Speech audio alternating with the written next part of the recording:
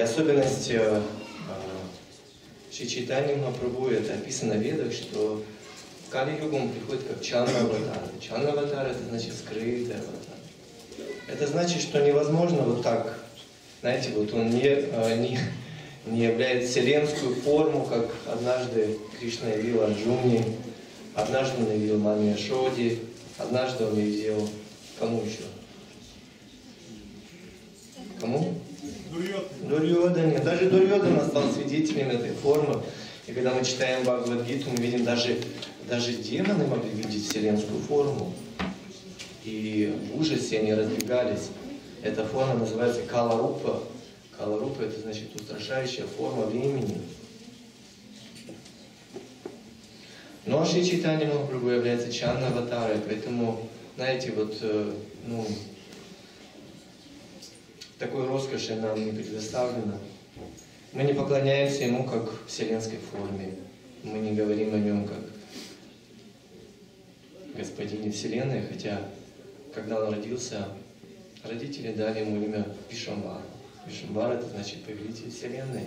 Почему? Потому что до этого множество детей умирало. Девочек, многие девочки в их семье. Родители так хотели, чтобы какая-то великая душа была в их жизни. И мы знаем, что однажды к Джаганатхи Мишре а, пришел этот образ Господа, и он вошел в сердце матери Шачи. И так она почувствовала, что она беременна. Просто почувствовала. Она даже не знала об этом. Почему-то от нее такое сияние стало исходить, и все стали выражать ей почтение. И э, Джаганат Мишра не прикладывал особых усилий для того, чтобы собирать пожертвования. Он был очень из простой браманической семьи, жил очень просто, жил на подаяне. Но в это время почему-то все щедро его даривали, даже просили его взять. Вот когда он проходил мимо каких-то рядов рыночных, его подзывали, пожалуйста, возьмите у нас. Так вот. И он не мог понять, почему это. Ну, вроде ничего такого особенного. Хорошо. Поэтому мы говорим о Шичайтане Махапрабху, что не так много в ведах о нем говорится, и для того, чтобы распознать его как верховную личность Бога, нам нужны слова великих личностей, великих мудрецов. Мы знаем, что есть три источника истины. Какие это три источника истины? Если вдруг мы находим так или иначе что-то в шастре, ну не все мы такие ученые мужи, Вдруг мы не нашли это в шастрах, где мы можем это найти? Подтверждение тому, что мне показалось или приснилось, или я где-то слышал. Где мы можем еще найти подтверждение? Гуру и сам, да. То есть мы обращаемся к духовному учителю, и мы обращаемся к саду, к махантам, великим душам, которые говорят или подтверждают эту истину. Итак, три источника подтверждения явления Шри Чайтани Махапрабху как верховной личности Бога. Ведь мы празднуем сегодня не, ну как это у нас, не сабантуй по случаю, как это, вечеринка, да? Нет, мы, мы собрались сегодня сказать слова о славу Верховной Личности Бога, хотя, вы знаете, наши попытки, они настолько жалкие, ведь сам Ананта Шеш не может описать все игры Господа Чайтани, и он чувствует себя очень-очень, как это, маленьким и незначительным, знаете, капелька океана и океан, какая вроде появилась, потому что ну, солнышко как-то неплохо. Но в целом саду соприкасается, и он чувствует каждый живот. Его невозможно обмануть. Почему?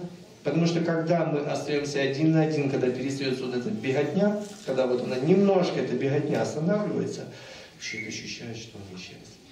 Ему нужно начать опять срочно что-то делать, куда-то смотреть, куда-то бежать, чтобы как-то вот ну, просто один на один не оставаться, чтобы не смотреть в эту пустоту черную и не скорбеть, как пусто внутри.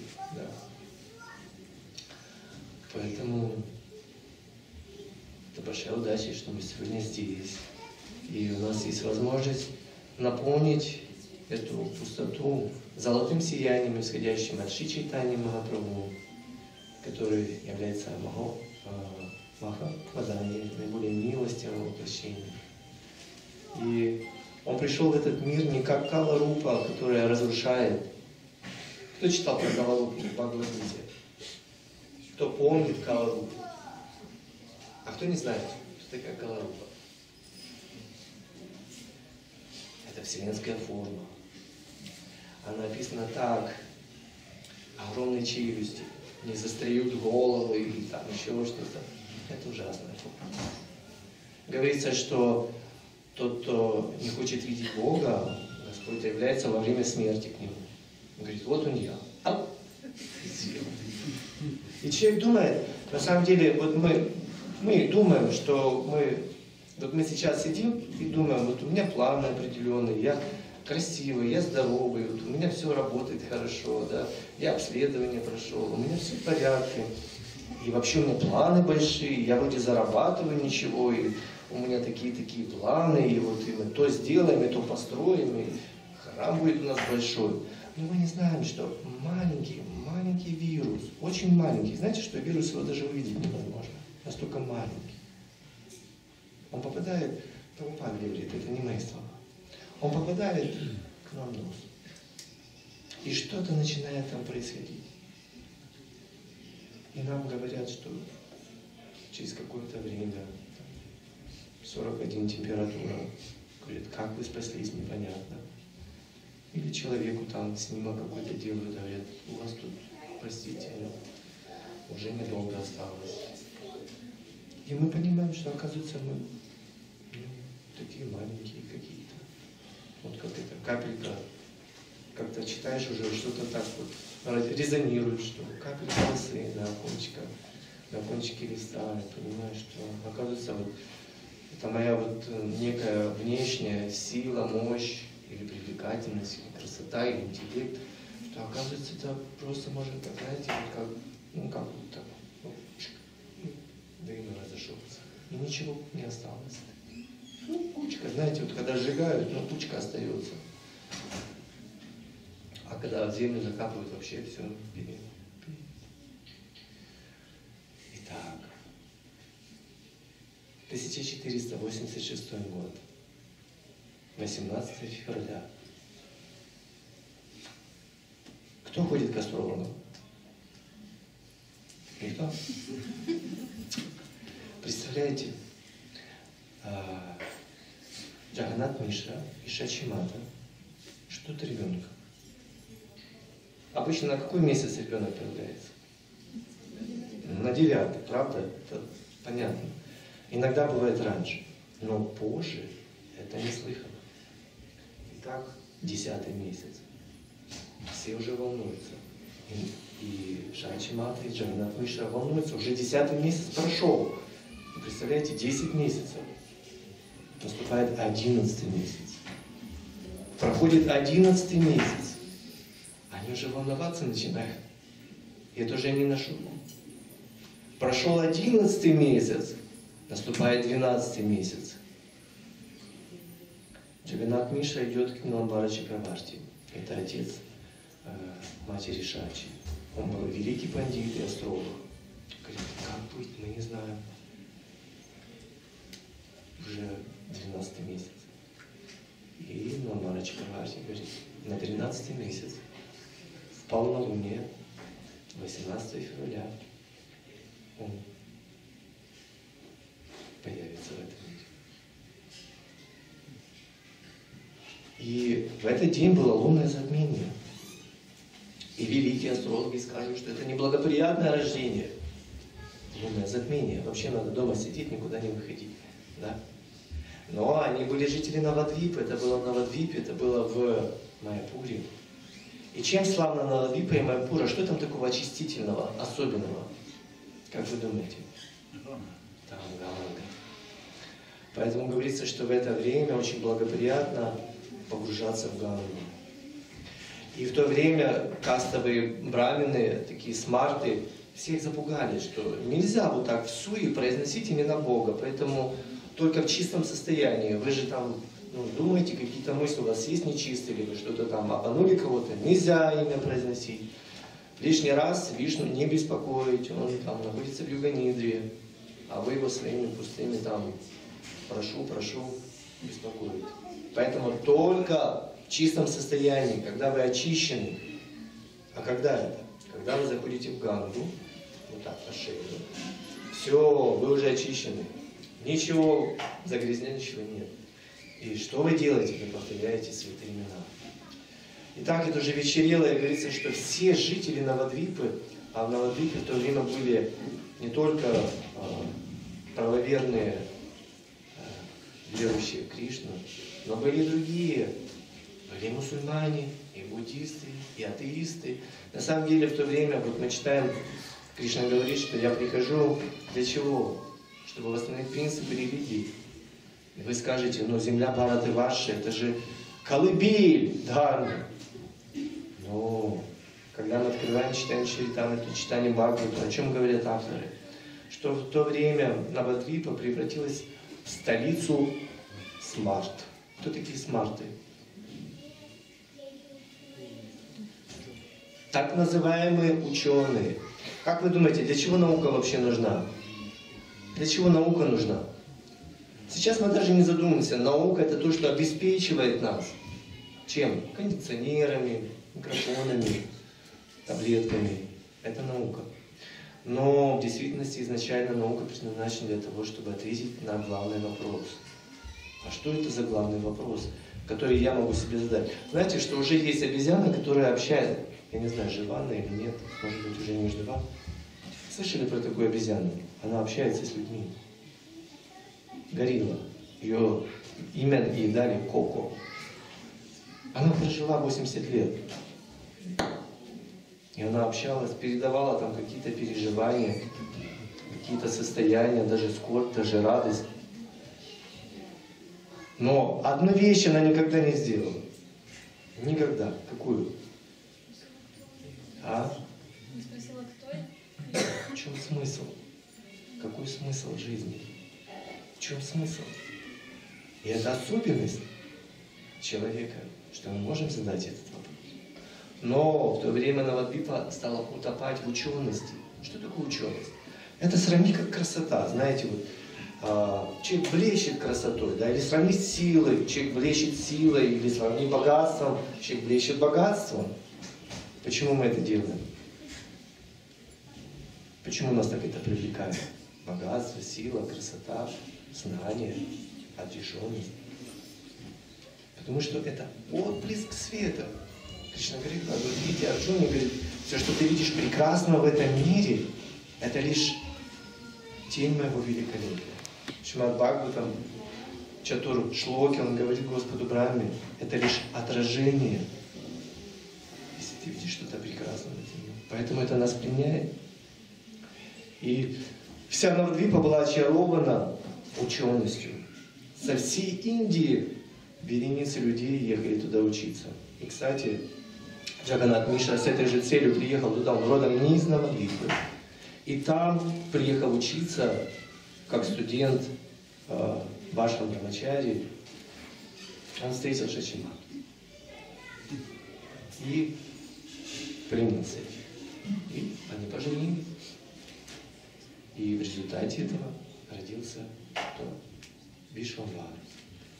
И он родился 18 января 1486 года.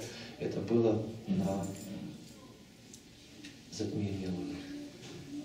Сотни тысяч людей находились в это время в Ганге, и не все вторили. Харе Кришна, Харе Кришна, Кришна, Кришна, Харе Харе, Харе Рама, Харе Рама, Рама, Рама, они взывали с поднятыми руками, потому что это была редкая возможность. Вот вы замечаете, когда мы начинаем повторять Хари Кришна, как мы начинаем повторять? Вот, кто повторяет один год Хари Кришна? Один год повторяет. Ну, от месяца до одного года. Ага. А кто больше, кто пять лет? Хорошо. Хорошо. То есть давайте вспомним, вот как мы начинали, как мы повторяли Хари Кришна. Каким трепетом, каждое слово. Мы уединялись, чтобы ничего не помешало. Ни телефонный звонок, ни телевизор, ни шорох какой-то, ни движение какое-то, вообще ничего. Только Хари Кришна. Я помню, даже находясь вашими в храме, я уединялся, дабы мне ничего не помешало. Где-то там, где-то там, в какой-то комнате еще. Мы тогда жили, я помню, на Уездной. Помнишь же, да? Там, на Уездной сверху. И там у нас была комнатка, называется комната Весадева. Там Весадева переводил книги, и там была библиотека, были книги. Вот это была возможность первому туда прошмыгнуть, потому что там было такое небольшое пространство, такой невысокий столик, и ну, для двоих уже тесновато. Вот кто первый успел туда, этот Бадрикаша, тому и повезло. И вот, то есть специально даже уединялись, да, почему? Потому что хотелось очень-очень сосредоточенно повторять, чтобы ничего не отвлекало. Но когда мы начинаем это делать из день в день, из дня в день, из дня в день, это становится просто как чем? Чем это становится? Каким? Ритуалом или даже, я бы сказал, таким вот религиозным формализмом.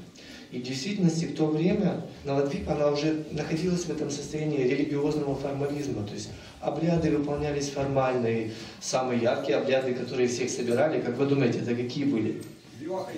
О, свадьба, это то, на куда хочется всем пойти, там накормят, там напоят, там еще и денег дадут, и вообще пообщаться хорошо. Ну, иногда похорон.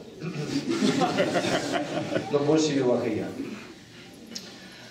И вот представьте, то есть, как правило, то есть святые имена сильно э, часто не воспевали, но именно в полнолуние, почему? Потому что мы все печемся о нашем благополучии, о том, чтобы быть под защитой, мы погружаемся в Гангу, и мы возносим святые имена с великим-великим зовом. Представьте, вот такой концентрат. Вся Навадвипа, это тысячи-тысячи людей, они находятся в Ганге, и что они делают? Они воспевают Кришна. Шачи Мата и Джаганат Мишра, э, когда Нимай появился, он появился, он родился под деревом Ним, поэтому еще одно из имен, его имен это Нимай. И еще одно из имен это Гаура или Гауранга, это значит золотистый цвет его тела, кожи был как расплавленное золото, Гаура. И Джаганат Миша и Шичмата обратились к Шиваста Гуру. Почему так произошло? Они были взволнованы. Почему? Потому что до этого восемь э, девочек, э, дочерей, они умирали. Они рождались и умирали, рождались и умирали. Представьте, как это семье было. Они так переживали, чтобы их не ребенок, все хорошо с ним было, чтобы там ту -ту -ту, вот это все, все было самых лучших всех канонов, чтобы там все по астрологии, все было хорошо, чтобы все знаки. А тут он рождается в затмении Луны. Представляете? Такое горе. Как женский ум начинает беспокоиться. Он родился в затмении Луны. Что теперь будет с моим ребенком? Да? И Шивасакур говорит, на самом деле, этот ребенок родился в самое самое, самое благоприятное время. Почему? Потому что тысячи тысяч людей молитву, что они делали? Харе Кришна, Харе Кришна, Кришна, Кришна, Харе Харе, Харе Рама, Харе Рама, Рама, Рама, Харе Харе. Они воспевали святые имена. Какая луна? Какое солнце? При чем это здесь? Мы повторяем молитву Вандеши Кришна Чайтанья Нитянанда Сахудиду Гаудадая Пушпавантава Читраушам Дам Тамуну Дам. Говорится, что на небосводе Гауды одновременно зашли как солнце и луна Чичитани Махапрабху Нитянанда. И говорится, что когда солнце, не, луна Господа Чайтани, или солнце, да, возошли, то подлинная луна, она пристыдилась. Ей стало стыдно, поэтому она решила спрятаться. Поэтому было затмение. Итак, с самого рождения Шичайтани Махапрабху он показал свою миссию. То есть мы с вами читаем о том, что Всякий раз, когда религия приходит в упадок, воцаряется безбожие, я сам не схожу в этот мир у потомок Бара. Почему? Для того, чтобы восстановить принципы религии. И Господь Читание уже с самого рождения показал, каким образом он будет восстанавливать эти принципы религии. Когда он был маленький, то дети плачут. Кому знакомо тема, что дети плачут? Всем знакомо, да? Иногда они плачут так, что, ну, кажется, невозможно ничего сделать. Этот плач, он бесконечный. И никак не, невозможно успокоить. И что бы ни пробовали в доме Шачи, не, не успокаивался. Он был маленький. И вы же не скажете ребенку, не плачь. И э, Шачи Мата и ее подруги, они пробовали уже и так, и так, и так, как-то его веселить какими-то э, игрушками, прибаутками. Но вдруг Шачимата стала петь святые имена. И вдруг, что произошло с Нимаем? Он затих. Он перестал плакать. И мало того, он стал улыбаться. Он стал улыбаться, и мало того, он стал пританцовывать. Как-то так, по-детски. И обе были, вернее, Шачимата и старшие женщины, они были удивлены такой ситуации. И каждый раз, когда Нимай начинал или были какие-то признаки того, что он сейчас будет плакать, у них была волшебная кнопочка. Они начинали петь Хари Кришна. И они думали, что они нашли волшебную кнопочку к этому ребенку. Но на самом деле что произошло? Он нашел волшебную кнопочку. Да. Это не Май нашел волшебную кнопочку, чтобы вдохновить нас. Что делать? Поэтому, когда нам тяжело, когда нам плохо, что нам нужно делать? Распевать Святое Имя. И это и есть волшебная кнопочка. Я уже рассказывал, интересно, был такой случай с, с, с одной преданной.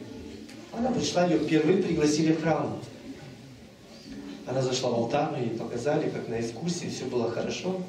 И когда выходили, а, женщина, которая я рассказывал, предложила, вы знаете, вот здесь есть магазинчик, хотите мы четкие купим, вы сможете повторять мантру. Говорит, да не, не, не, я, мне еще рано, я вот, мне интересно все, но я еще, я не, не Хари Кришна еще. Ну ладно.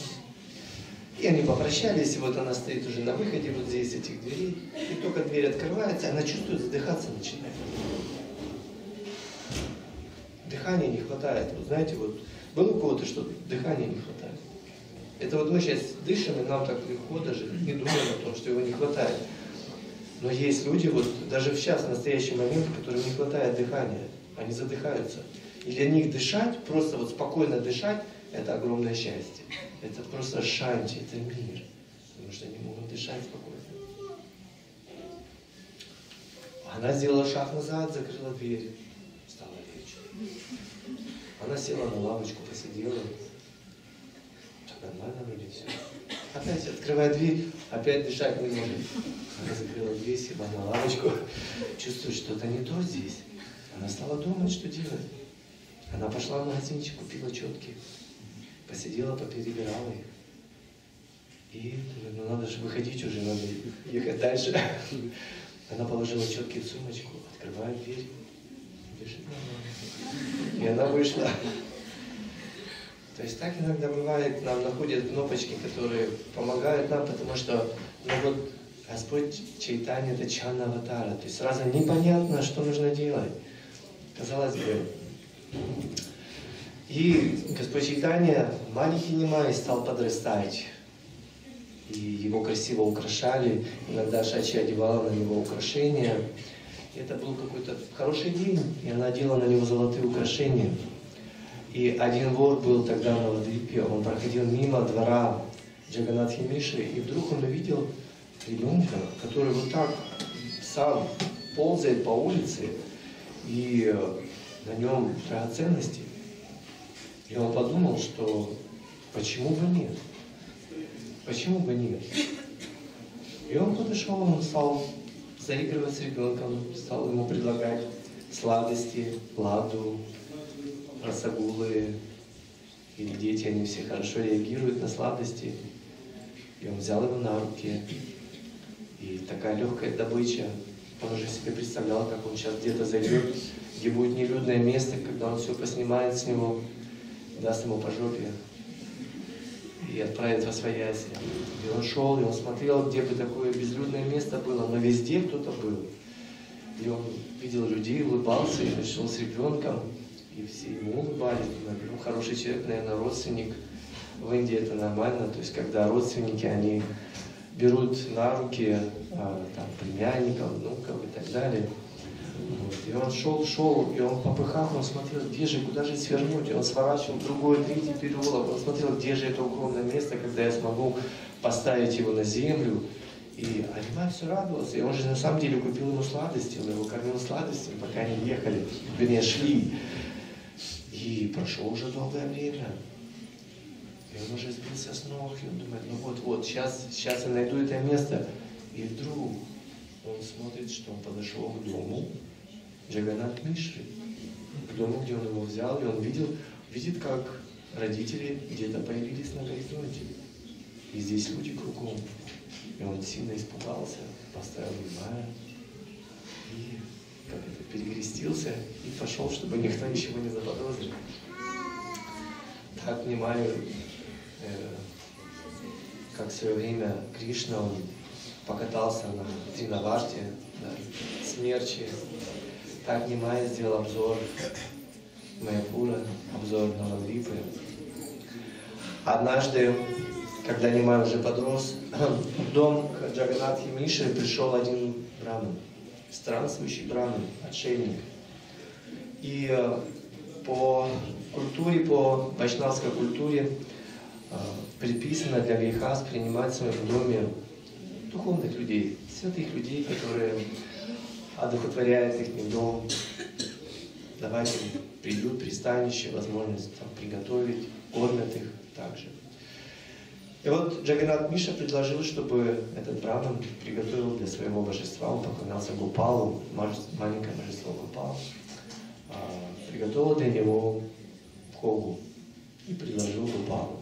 И они собрали все яства, помыли кухню, дали ему время готовить. Уже это было послеобеденное время, начистили овощи, ну, он приготовил подношения, там, рис, овощи и так далее.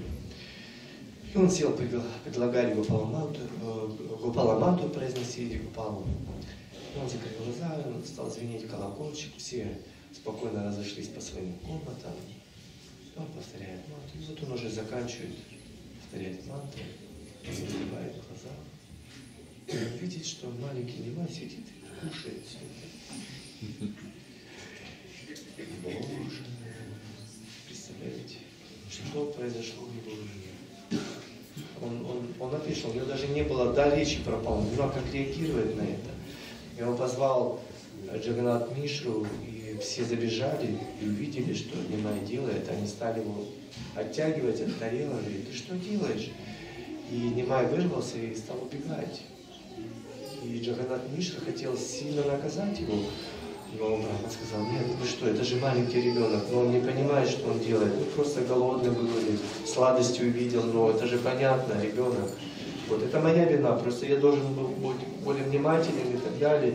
И он стал извиняться перед Джаганат Мишрой. И Джаганат Мишре так было неловко. Они заперли Нимая в другой части дома. Он пришел к Браману и сказал, пожалуйста, приготовь еще, мы сейчас все сделаем, мы сейчас кухню, вымоем, мы вымоем все котлы, все сделаем замечательным образом, пожалуйста, приготовь еще раз. Но не, не лишай нас такой возможности. Мы, он считал, знаете, как он считал? Он считал, что мы падшие грехасхи, и ты а, осветил наш дом. Через некоторое время этот браман будет думать, какие великие Джаганат Мишра и Шачимата, но не сейчас, это чуть позже ты осветил наш дом, пожалуйста, приготовь еще, вот мы сейчас все сделаем, все. Да, знаете, давайте просто вот я там что-то там, яблочек предложу, каких-то там фруктов у вас есть. Нет, ты приготовь. Это, это важно очень. И они его просили. Весь дом пришел, все, все домочадцы пришли, просили его. Ой, ну ладно. И он приготовил еще раз там, уже так вечерело, солнышко садилось. И он опять берет колокольчик, опять закрывает глаза. начинает предлагать. И только он открывает глаза, внимает, опять схватил что-то в рот и побежал. И тут Джаганат Мишра увидел, схватил за лозину, за палку, он уже был готов выпороть, внимая, ну сколько можно, это же нельзя так. И бежит Нимай, за ним Джаганат Миша, за ним Шачимата, а потом этот Браман бежит, всех останавливает, говорит, не надо, пожалуйста, дитя не, не берите.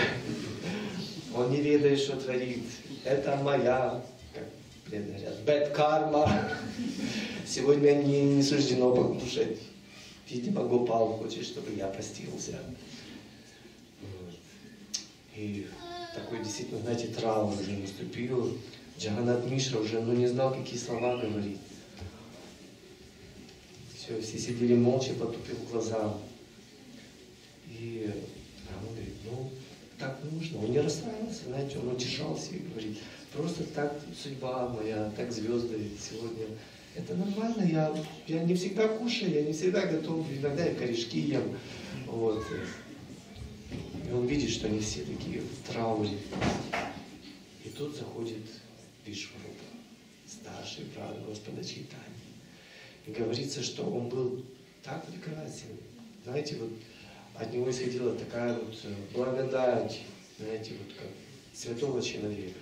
То есть он был юн, красив, статен и очень благороден. И от него исходило такое сияние, вот духовное, божественное сияние. И когда он зашел в дом, он не совсем знал, что происходит, такой траур. Вот. Этот браман, когда увидел его, он спросил, а кто это? Кто этот юноша? Чей он сын? И ему сказали, ну это сын Джаганата Мишны. И, видно, великая душа, возвышенная. И до, до Вишва Рупы дошла информация, что вот такое произошло. И он сложил ладонью, подошел к этому браману. Сказал, пожалуйста, не отвяжи в любезности, освети наш дом приготовь в нашем доме. Я тоже было где-то часов 11 вечера, ночи. И он просто не мог отказать Вишварупу. Когда Вишварупа его попросил, он согласился, он сказал, хорошо, конечно. И они стали все готовить, и в это время маленького Нимая просто заперли. Его на щеколду заперли, чтобы никак вообще когда Брахма приготовил, в это время йога Майя накрыла все, и все заснули. И Майя вышел. Был только этот Брахма. Он звенел колокольчик с закрытыми глазами, погруженный в то, как Гупал принимает. Он открыл глаза. И он готов был уже закричать. Но вдруг в это время он увидел, что это не просто Нимай, это его же Гупал. То есть он увидел Вриндаван, он увидел э, Гокулу, это место, где жил Гупал. Он увидел все эти лилы детские Гупала. Ему показалось, что он с ума сходит. Он не мог понять, что происходит. Знаете, уже 12 часов ночи. Тишина, никого нет. И он видит то ли это Нимай, то ли это Гупал, и кто-то это принимает все. И он попытался как-то ответить, говорить, зачем ты это делаешь? Говорит, что, ну ты же сам меня зовешь. Ты каждый раз мантры произносишь, я не могу удержаться, я прихожу в землю. И все. И он сказал мне о том, что я пришел в Надию, как Гауранга Махапрабху. И есть такой важный Сей Гору, Сей Кришна, Сей Джаганат, что я приходил как Гауранга, как Господь Кришна, как Господь Рама. Я пришел для того, чтобы дать людям югадхарму, практику, которая позволит нам восстановить наши отношения с Кришной. То есть каждый из нас — это душа, которая является сыном или дочерью очень-очень состоятельной личности. личности, которому принадлежат все эти миры, все богатство этого мира, вся красота, вся сила, все знание. Он самый красивый, самый сильный, самый мудрый, самый богатый, самый отрешенный. И мы не просто здесь блуждаем, мы не просто, как это, не знаем без рода, без племени. да. То есть каждый из нас это его частичка. Господь Читание говорит, я пришел именно с этой целью. Ну, я тебе открыл это. Ты же никому не должен рассказывать. И не мое шоу. И когда он ушел, этот Браман просто с ума стал сходить. Он стал прыгать, танцевать, плакать, кувыркаться. Он стал обмазываться этим просадом. И тут все домочадцы стали просыпаться. Что, что, что произошло? Опять? Говорит, «А, говорит, Вы не представляете, какие вы счастливые люди. Он уже по-другому смотрел на Джаганатха Миша, на. Говорит, а что, что, ты скажи. И он понимал, что он хочет им это рассказать, но не может. И на протяжении долгого времени, там еще полугода, он поселился где-то так недалеко, и он приходил и смотрел на Нимаю, приходил на Шачи, смотрел на Джаганат Мишу и любовался этими играми маленького Нимая.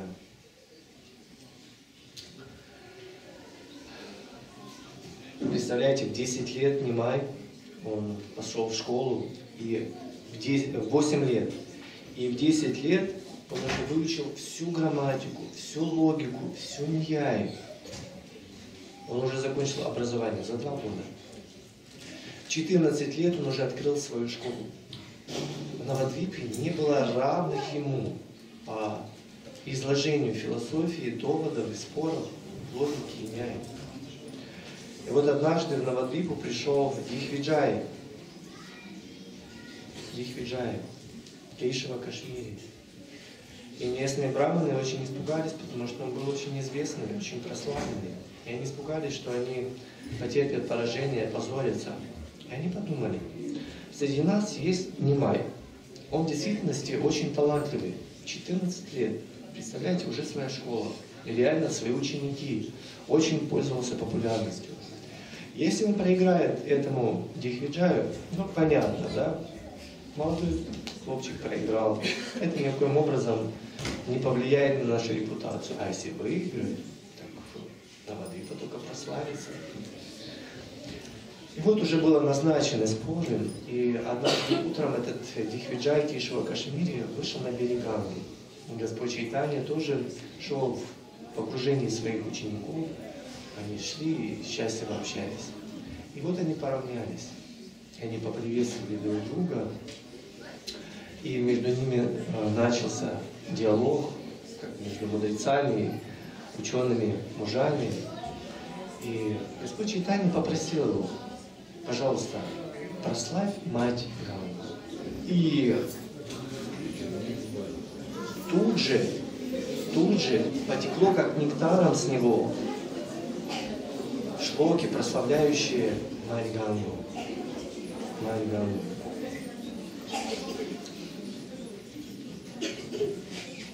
И это произошло не случайно. Это произошло потому, что Кейшева Кашмири поклонялся богине учености Сарасвати. И сама богиня учености присутствовала на его языке. Она сопровождала его везде, в его спорах, в логических аргументах, в общении. И никто никогда не мог найти какого-то изъяна в его словах. Никто никогда. Почему? Потому что сама ученость была на его стороне.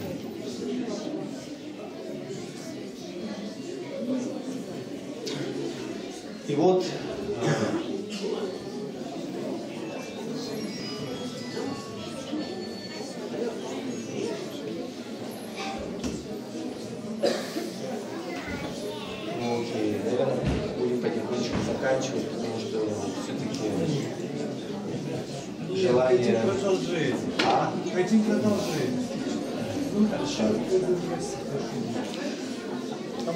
Чайтанья нашел недостатки в изложении этого брамана. Он сказал ему об этих недостатках. Он сказал, что в 64 стихе есть ошибка, и там есть ошибка, и там. Это было для брамана просто сверх невероятно. И он пристыженный, он ушел, покрасневший, и ученики, ну, как бы чуть-чуть стали подсмеиваться, но Господь Читание сказал, не делайте этого, это уважаемый человек. И вот он не мог найти себе места, и во сне к нему приснилась, пришла богиня э, знания, учености, и она сказала, что ты знаешь, что присутствие своего вечного супруга Нараяны я сама стесняюсь и сама чувствую его присутствие, поэтому ты совершил эту ошибку, потому что ты соприкоснулся с Нараяной. Хорошо, бедные, я думаю, что мы на этом будем потихонечку заканчивать, потому что сейчас нас ждет спектакль, куда бы не, не увеличивать тему нашего обсуждения. Единственное, что я, может быть, чем закончу, чем подытожу, что философия Господа Читания, она проявляется в трех, трех важных аспектах, которые говорит Бхакти Такур. Да. Намаручи Дживадуи Вайшнава Села. И он объяснил это в беседе с Арбаум Бадачари, когда они общались, и когда Арбаум Бадачари в течение семи дней обучал его логике Ньяи, и Господь Читания, он объяснял его в Веданте, когда Господь Читания просто молча, не проронил ни слова, он выслушал, и это повергло Сарабхану Бадачари немножко в такое размышление, почему это происходит. Он стал задавать вопросы ему, то Господь Читания стал отвечать, что Веданта, она ясна, как свет солнца в полудень, безоблачную погоду. Но твои комментарии – это подобно тучам, которые закрывают от нас суть Веданты. И между ними произошел некий спор, некое общение. Царубама Дачари был великим логиком, великим пандитом, великим ученым. Цари, императоры приходили к нему советоваться. Он не был сентименталистом. И в этой беседе Господь Читания рассказал о философии Майя Вады, которую принес Шанкара. Он рассказал историю из Падмапураны, где была беседа между Вишну и Шивой, где Господь Вишну просит Шиву явиться в этот мир, чтобы дать людям направление, уводящее их немножко от Бога, чтобы люди стали наполнять мир, размножаться и так далее. И тогда Шива сказал, хорошо, я приду как браман и дам философию э, имперсонализма. И мы знаем, что он пришел как Шанкара и дал эту философию. И таким образом он все аргументировал. То есть Сарвама был обезоружен. И после этого он сказал, что даже величайшие люди, достигшие совершенства отречения, Атмарама Чамунайо, это шлока из Шимад Бхагаватам, которая говорится, что великие Атмарамы, самоудовлетворенные души, нашли, которые нашли в своей жизни удовлетворение внутри себя, даже они ищут прибежище у преданного служения. И Господь Чайтанья сказал о том, что суть философии состоит в том, что мы все духовные души, мы части Верховной Личности Бога. И что суть нашей жизни – восстановить эти отношения. И целью нашей жизни является любовь к Богу. Все, больше ничего в ведах не говорится. Три основные цели ведического знания. Это понимание того, что я частичка Бога, я душа, что метод восстановления отношений с Богом – это преданное служение, и что цель этого всего – это према любовь. Нама Ручи, Джива Доя, Вайшнава Сыва. Это три метода, которые помогают нам понять красоту Бога. Как мы понимаем красоту Бога? Через Джива Доя, через проповедь. Когда мы участвуем в миссионерской деятельности, в проповеднической деятельности, мы чувствуем, что Господь открывается для нас. У кого такой есть опыт жизни? Когда мы хоть как-то соприкасаемся с проповедью, прямо или косвенно, мы ощущаем, как Господь открывается перед нами. Джива Дуя. Красота Кришны открывается в этом. Нама Ручи. Именно после этого Нама, то есть где он открывается? Через Святое Имя. Мы начинаем ощущать вкус Святого Имени. Почему? Ведь это же просто звуки. Это просто звуки. Для многих людей, если вы будете повторять, это просто абракадабра. Они не могут понять. Но почему-то они становятся притягательными, эти звуки. Когда? Когда мы практикуем дживадую. Когда мы помогаем другим людям, мы ощущаем вкус святого имени. И святом имени кроется что? Что кроется? Према. И према реализуется в обществе преданных, Вайшнава села. Мы не сможем в другом месте ее реализовать. Шила Прабхупад говорит, если вы думаете, что можете духовно развиваться где-то как-то, сами по себе, в Гималае, говорит, это фантасмагория, только в обществе преданных. Кришна говорит, Нагам тиштхами вайкунхи, йоги нам шива. Я не на вайкунхе, я не сердце йога, я там, где мои преданные собираются, обсуждают мои имя. Однажды один вайшнав шел с храма, был дождь, он решил схорониться там вдоль дерева, там внизу крона была. И он лег там. Когда чувствует, кто-то еще зашел, была кромешная тьма. Они вдвоем сели там, где один может лежать, двое могут сидеть, он сказал. Это были вайшнавы. Они стали рассказывать о Кришне, как прекрасны божества, как красив Джаганат, как прекрасен Гауранга. Вдруг они почувствовали, еще кто-то зашел. И они сказали, там, где двое могут сидеть, трое могут стоять. Что они делали? Это были вайшнавы. Они прославляли Кришну. И вдруг какое-то время они почувствовали огромное блаженство. И любовь переполняла их сердца. Между ними появился еще кто-то четвертый.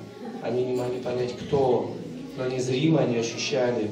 Поэтому, когда преданные собираются, и они обсуждают деяния Кришны, обсуждают Кришна Катху, они ставят спектакли, они смотрят спектакли, они слушают о Кришне, они воспевают все это имя, они ощущают, как в их жизни появляется кто-то еще. То есть теперь они могут спокойно смотреть вглубь своего сердца и не просто кромешную тьму видеть, как многие люди. Они видят яркое сияние, исходящее от Гауранги. Они ощущают его присутствие в своей жизни. И так они обретают чистую любовь. Хари Кришна Приятель. Спасибо большое вам. Сейчас нас ждет чудесный спектакль. Шри Гауранга Махапрабху Ки! Шри Гаура Пурнима Махамахотсава! Джай! Дай Гау Мандир! Хари Хари!